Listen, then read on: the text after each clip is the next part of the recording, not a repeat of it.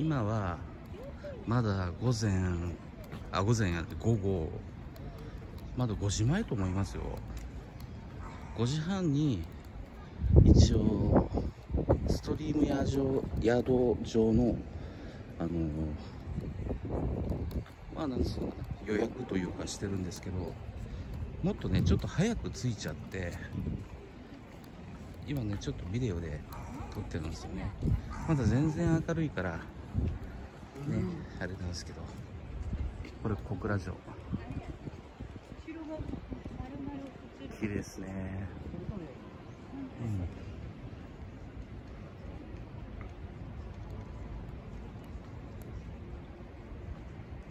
このね小倉城っていうのは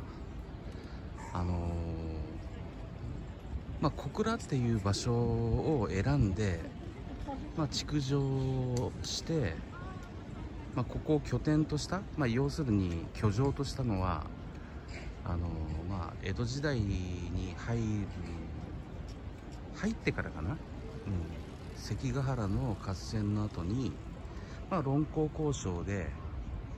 細川忠興細川雄斎の息子ですよね。室町時代細川家って言ったら結構名門やったんですけど、まあ、いろんな紆余曲折があって豊豊臣家について最後はまあ徳川方にねついてそして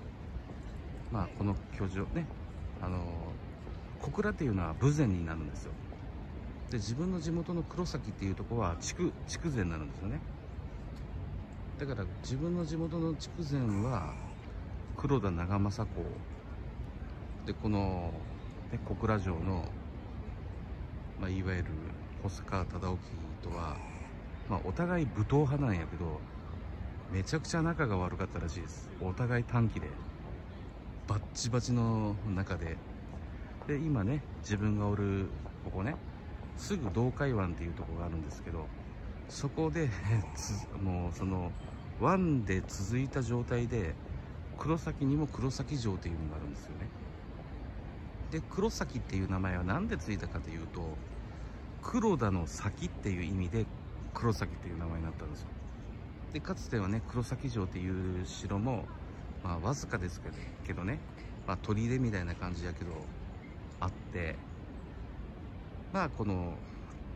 細川忠興と睨み合いをやりよったというなんかそういう逸話というかね話を聞いたことはあります。